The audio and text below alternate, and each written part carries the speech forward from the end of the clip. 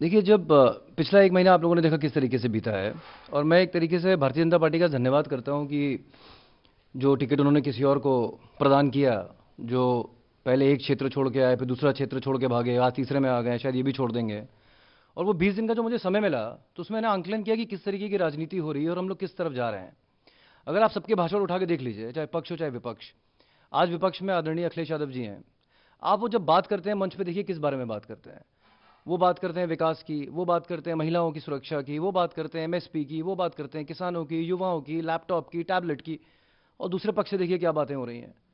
तो अब ये सोचने वाली बात है कि आज एक युवा होने के साथ साथ हमको ये लगता है कि भाई जो आदमी प्रोग्रेसिव बातें करे, इस प्रदेश को आगे ले जाने का प्रयास करे कम से कम, मुझे उसके साथ खड़ा होना चाहिए। तो जैसे मैंने कहा, मुझे समय मिला, मैंने सबके साथ जो मेरी टीम के लोग थे, चिंतन किया काफ़ी समय और उसके बाद निर्णय लिया।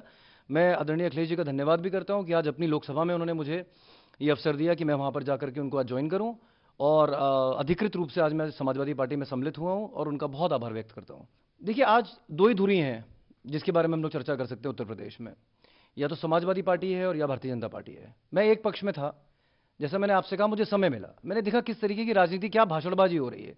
गर्मी निकाल देंगे और टोपी के ऊपर बात हो रही है तो ये मुझे नहीं लगता इस तरीके की राजनीति होनी चाहिए। अच्छा हम लोग पढ़े लिखे लोग हैं, हम लोग विदेश से पढ़ के आए, कहीं से पढ़ के आज मैं ये बातें लेकर के, जो आगे वाली जनरेशन आने वाली है, उनके बीच में कैसे जाऊँगा?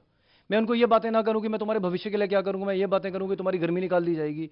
तो ये सब चीज़ें मुझे कहीं पर चुभी मुझे चुभी, मैंने देखा कि अखिलेश जी ने एक जगह ऐसा स्टेटमेंट नहीं दिया होगा, जहाँ डिविसिव पॉलिटिक्स हो, कहीं किसी भी तरीके का विभाजन हो। तो मुझे लगा ऐसे व्यक्ति के साथ हम सबको, जितने भी युवा हैं उन सबको उनके पीछे खड़ा होना चाहिए। वो पहले मुख्यमंत्री रह चुके हैं। जो भी उन्होंने अपना घोषणा पत्र दिया था, वो लगभग सारा उन्होंने करके दिखाया। मुझे लगता है पुनः जो ये घोषणा पत्र है, ये रियलिस्टिक घोषणा पत्र है। हमको लगता है ये सारी चीज़ें भी हम लोग अगले पाँच साल में अचीव कर पाएँगे। अब बुलडोजर में युवा क्या करेगा? या गर्मी से युवा क्या करेगा? भाई उन्होंने एक प्रश्न पूछा समाजवादी पार्टी के अध्यक्ष जी ने कि कितने लोगों को आपने लैपटॉप बांटा? वो हर मीटिंग में जाकर यही पूछते हैं, किसको मिला, किसको नहीं मिला। देखिए, मुद्दे जो है ना, वो सकारात्मक होने चाहिए। मुझे लगता है राजनीति बहुत नकारात्मक हो रही थी और शायद उसका एक कारण था। कारण ये था, पाँच वर्ष आप राजनीति में थे, आप पाँच वर्ष सत्ता में थे। चौदह वर्ष का आपका वनवास समाप्त हुआ था, भारतीय जनता पार्टी यहाँ आई थी।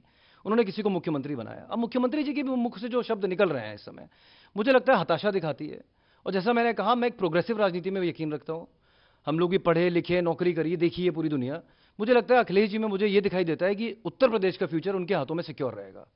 नहीं, मैं एक, अब लिस्ट बनाए, अगर आप बनाना शुरू करिए तो उत्तर प्रदेश के जो अभी को इंचार्ज बनाए गए अनुराग ठाकुर जी, वो शायद क्रांतिकारी तो नहीं थे। उसके बाद राजनाथ सिंह जी के बेटे चुनाव लड़ रहे हैं, वो भी शायद क्रांतिकारी नहीं थे। उसके बाद कल्याण सिंह जी का पूरा परिवार, फिर हमारे यहाँ मोहनलालगंज चले जाइए उनका परिवार, उनके साले, उनकी धर्मपत्नी, फागू सिंह चौहान बिहार के इस समय राज्यपाल हैं, उनका बेटा वर्मा जी अभी भी मंत्री मंत्री से हटे हैं, उनका बेटा। मुझे लगता है, देखिए, अगर मानक बने तो सबके लिए एक सा मानक बने। भाई, किसी का पुत्र पुत्री ना आए तो आप परिवारवाद के खिलाफ है। मैं मानता हूँ इस बात को। लेकिन आप सिलेक्टिव नहीं हो सकते कि किसी के लिए कोई मानक, किसी के लिए कोई और मानक। तो ये मुझे लगता है, ये विरोधाभासी बातें हैं भारतीय जनता पार्टी की। और मेरे ख्याल से उसी का, इन सब चीज़ों का खामियाजा इनको भुगतना पड़ेगा। देखिए, जो मुझे जो जानकारी है, चार ब्राह्मण नेताओं ने टिकट मांगा था। अपने पुत्रों, पुत्रियों के लिए, क्योंकि उनको लग रहा था कि भाई तिहत्तर चौहत्तर हम हो रहे हैं। और भारतीय जनता पार्टी में एक रूट है कि पचहत्तर के बाद नहीं होगा। उसमें एक रीता बहुगुणा जोशी जी थी, उसमें कलराज मिश्रा जी थे, उसमें सत्यदेव पचौरी जी थे और उसमें हाँ हृदय नारायण दीक्षित जी थे। किसी को नहीं दिया। तो अब या तो इनको ये लग रहा है कि भाई ब्राह्मण वोट डालने वाला है हमको, उसमें कुछ मत दो, क्योंकि मैंने बाकी जितने नाम लिए उसमें आपको बाकी सारे वर्ण के लोग मिलेंगे। एक भी आपको उसमें ब्राह्मण नहीं मिलेगा। तो ये सवाल तो एक्चुअली भारतीय जनता पार्टी से पूछना चाहिए कि क्या भाई आपको कोई एलर्जी थी ब्राह्मणों से? क्योंकि बाकी सारे वर्णों को टिकट कैसे मिल गया? उनके बच्चों को, पुत्रों को, पौत्रों को कैसे मिल गया? तो ये प्रश्न उनसे पूछना चाहिए। लेकिन मेरा जहाँ तक आपको, मेरा ये विचार है, मैं उनका फिर से आभार व्यक्त करता हूँ मुझे टिकट नहीं देने के लिए। मैंने उस क्षेत्र में तेरह वर्ष काम किया। मुझे भारतीय जनता पार्टी की ज़रूरत नहीं है उस क्षेत्र में चुनाव लड़ने के लिए। और क्योंकि उस समय मुझसे कई लोगों ने पूछा कि आपने उस समय जाकर के क्यों नहीं चुनाव लड़ा? तो मुझे ऐसा लगा कि मेरा एक कमिटमेंट था, जिस पार्टी में मैं उस समय था, कि भाई मैं आपको एम्बेरस नहीं करना चाहता। लेकिन आज मैं स्वतंत्र हूँ। मैं जहाँ जाऊँ, जा सकता हूँ, लोकतंत्र है, जनतंत्र है। और मैंने जो आपसे कहा 20 दिनों में मुझे ये लगा, जो मैंने 20 दिन दिए, जब आप देखिए, आप एक पार्टी में होते हैं तो आप थोड़े बाइस्ड होते हैं, जो सत्य है। तो मैंने भी ओखली में सर दिया हुआ था, लेकिन जब आप बाहर निकालते हो, सर, और आप देखते हो कि आपके चारों तरफ़ क्या चल रहा है तो मुझे ये लगा कि नहीं, यहाँ आप नहीं हो पाएगा। मुझे प्रोग्रेसिव पॉलिटिक्स के साथ, आदरणीय अखिलेश जी की पॉलिटिक्स के साथ जुड़ना है, और मैं बहुत प्रसन्न हूँ, आज जहाँ मैं हूँ। देखिए, क्या दिक्कत होगी? आज भी वो पार्टी का ही कार्य कर रही है। मेरे ख्याल से त्रिपुरा या गई हुई है, परसों नरसों भी शायद इंदौर गई हुई थी। उन्होंने पूरा चुनाव प्रयागराज में लड़ाया, वो यहाँ रहती नहीं। और तो और जैसे मैंने कहा, जनतंत्र है क्यों सिंधिया परिवार पहले नहीं था। आज जैसे आपने कहा, यादव परिवार नहीं है तो ऐसा नहीं होता है। हर आदमी की अपनी इच्छा होती है। और लोकतंत्र है, कोई जाए, सिंधिया परिवार इतना बड़ा देखिए, सब लोग कहाँ थे, कोई किसी पार्टी, कोई किसी पार्टी तो ये, इसको ऐसा नहीं रखना चाहिए। मुझे ऐसा लगता है कि अगर मैंने आस्था व्यक्त करी है तो सिर्फ़ प्रोग्रेसिव पॉलिटिक्स के लिए। एक ऐसी राजनीति, जिसमें मुझे विभाजनकारी नीति कहीं दिखाई नहीं देती, मुझे सिर्फ़ पॉलिटिक्स में ये दिखता है कि आने वाला भविष्य चाहे मैंने कहा महिलाओं का किसानों का युवाओं का सबका मुझे उज्जवल लग रहा है। उसी कारणवश आज मैं समाजवादी पार्टी में सम्मिलित हुआ और आदरणीय अखिलेश जी का बहुत बहुत धन्यवाद करता हूँ कि आजमगढ़ में बुला करके अपनी लोकसभा में उन्होंने मेरा हाथ उठा करके मुझे पार्टी ज्वाइन जी के लिए आप कैसे देखते हैं? अब मेरी उनसे चर्चा नहीं हुई अब चर्चा होगी। बस देखिए जैसे मैंने कहा उन्होंने इतनी लंबी राजनीति करी है कि हम लोग तो अभी शुरुआत ही कर रहे हैं। मैं कार्यकर्ता रहा हूँ बारह तेरह वर्ष मैंने एक क्षेत्र में काम किया लेकिन उन्होंने इलेक्ट्रॉनिक पॉलिटिक्स बहुत करी है। नहीं ऐसा नहीं देखिए किसी भी माँ बेटे का तो ये रिश्ता होगा ही ना। हम लोग कोई दुश्मन तो नहीं है। और मैंने जैसा कहा कि अगर मुझे उनको एम्बेरस करना होता या उस समय जब मैं भारतीय जनता पार्टी में था, वहाँ एम्बेरस करना होता तो मैं चुनाव लड़ जाता। उस समय भी मुझे ऑफ़र थे। देखिए 2019 में जब उपचुनाव हुआ तो इसी भारतीय जनता पार्टी ने मुझे कहा था कि भाई अभी बारह परिवार के लोग टिकट मांग रहे हैं जो सांसद हो गए, तुम मत मांगो। जिस आदमी को मैंने चुनाव हरवाया था, सुरेश तिवारी को उनको टिकट दे दिया। उसके बाद 2022 में बोला, मेहनत करो। अब फिर एक आदमी ढाई वर्ष लगाता है, कहीं मेहनत करता है। उसके बाद अब आप कहते हो कि भाई अब आप बारह के बजाय बाईस हो गए चौबीस हो गए तुम्हारे लिए परिवारवाद है बाकियों के लिए नहीं तो सिलेक्टिव परिवारवाद नहीं हो सकता। परिवारवाद होगा तो सबके लिए होगा।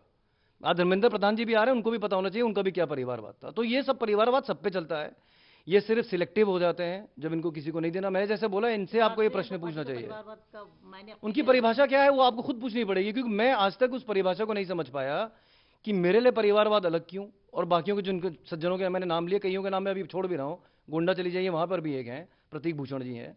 आप मुरादाबाद चले जाइए, उनके पिताजी चुनाव हार गए, लेकिन जब वो लोकसभा के एमपी थे पिछली बार तो उनके भी सुपुत्र आज भी एमएलए हैं, उनको फिर टिकट दिया गया है। अमरोहा चले जाइए, अमरोहा में वो लोकसभा का चुनाव हार उनके बेटा जिला पंचायत का है तो कैसे मिला? तो ये मानक उन्हें खुद बताने पड़ेंगे। ये मानक मैं डिफाइन नहीं करता हूँ। वो परिभाषित कैसे करते हैं? मेरे ख्याल से अगली बार जब आप किसी से बात करें, लेकिन मैं आज लिबरेटेड महसूस कर रहा हूँ। मुझे बहुत अच्छा लग रहा है जो उन्होंने मेरे साथ व्यवहार किया। और जैसे आपने मेरी माँ का सवाल पूछा, देखिए, वो भी स्वतंत्र है, मैं भी स्वतंत्र हूँ। और लोग तो पक्ष में जाने का जाने का ज़्यादा प्रयास करते हैं। आज तो अखिलेश जी विपक्ष में है।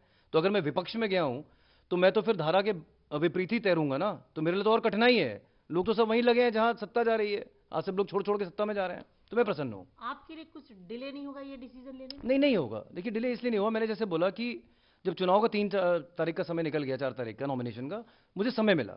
मैंने वो बीस दिन मैं जैसे मैंने कहा आज सब लोग बैठे हुए हैं हम लोगों ने आपस में चिंतन किया कि क्या करना चाहिए। फिर मैं पुनः आप दोहराता हूँ कि जिस तरीके की राजनीति हम लोग देख रहे हैं दो धुरियों के बीच में हमको ये लगता है कि हमको आज प्रोग्रेसिव राजनीति के साथ होना चाहिए जो मुझे अखिलेश जी में दिखती है। देखिए ये देखिए ये प्रश्न मैं आज भी अपने पूरे ब्राह्मण समाज के ऊपर छोड़ता हूँ। ये प्रश्न आपके माध्यम से जाएगा। कि सिर्फ़ ऐसा व्यवहार ब्राह्मणों के साथ क्यों हुआ कि एक विधायक इनकी हैं मोदी नगर की, वो किस तरीके के उन्होंने शब्दों का प्रयोग किया, वो वीडियो और ऑडियो आज वायरल है ब्राह्मणों को लेकर के, जिनका शब्द मैं आपके सामने नहीं ले सकता क्योंकि वो शब्द आप बोल नहीं सकते, वो लॉ में बैंड है। तो इस तरीके के शब्दों का जब प्रयोग किया जा रहा है ब्राह्मणों के लिए, भारतीय जनता पार्टी की सिटिंग विधायक से तो क्या उम्मीद रख सकते हैं? तो मुझे लग, आप मूर्ति लगवा, मैंने अपने परिश्रम से, अपनी जेब से भगवान परशुराम जी की मूर्ति लगाई, वो आस्था है। जब मैंने ये लगाई तो भारतीय जनता पार्टी के अंदर से आवाज़ है ये तो अखिलेश का प्रोजेक्ट है। अरे प्रभु प्रोजेक्ट कैसे हो सकते हैं? आप प्रभु श्री राम की मूर्ति लगा रहे हैं, सुप्रीम कोर्ट के ऑर्डर के बाद तो क्या वो एक प्रोजेक्ट हो गया? भाई, मेरी आस्था है, मैं किसी की मूर्ति लगाऊ मैंने आपसे तो कुछ नहीं मांगा। मैंने इतनी सुंदर प्रतिमा लगाई, सब आए, सब आके नतमस्तक हुए वहाँ। आज जो एक बड़े महान मंत्री वहाँ लड़ रहे हैं, वो भी आए थे नतमस्तक होने। और आप कहने लगे, सपा का प्रोजेक्ट है तो जिसको भगवान में आस्था ना हो, भगवान श्री परशुराम में आस्था ना हो, उनसे मैं क्या बात करूँ? अब आप कैसे देखते हैं? अब तो एक चरण का चुनाव बाकी रह जी। आप किस तरीके से देखते हैं आपको लगता है? देखिए मैंने अपने देखिए मेरा जो विचारधारा थी जब मैंने बोला कि जब मैंने ये तय कर लिया था अपने मन में तो मैं जो कर पाया पार्टी के लिए समाजवादी के लिए वो मैंने करा। ज़रूरी नहीं कि आप हर बार फ्रंट पे ही आए। हम लोग जैसे आप में भी होते हैं आप मेहनत करिए आप कॉरेस्पॉन्डेंट शायद कोई और उसको न्यूज़ को पढ़ेगा। तो मैंने मेहनत अपने बिहाइंड द सीन जो कर सकता था करी। आदरणीय अखिलेश जी के पास समय नहीं था। जब उन्होंने मुझे बोला कि नहीं मैं आजमगढ़ में तुम्हारी ज्वाइनिंग कराऊँगा अपनी लोकसभा में। तो मैं वहाँ पहुँच गया मैंने वहाँ ज्वाइनिंग करी। जो मैं कर पाया पीछे से वो मैंने सब कुछ किया। किसी और दिन वो बैठ के आपको किससे सुनाऊँगा? किससे? आप कितना आश्वस्त हैं समाजवादी पार्टी की जी? नहीं मुझे लग रहा है सत्ता आ रही है। सत्ता इसलिए आ रही है क्योंकि जो हुजूम उमड़ रहा है किसी भी आप रैली में देख लीजिए उस हुजूम में जो उत्साह है और युवा जो आ रहा है देखिए युवा ही एक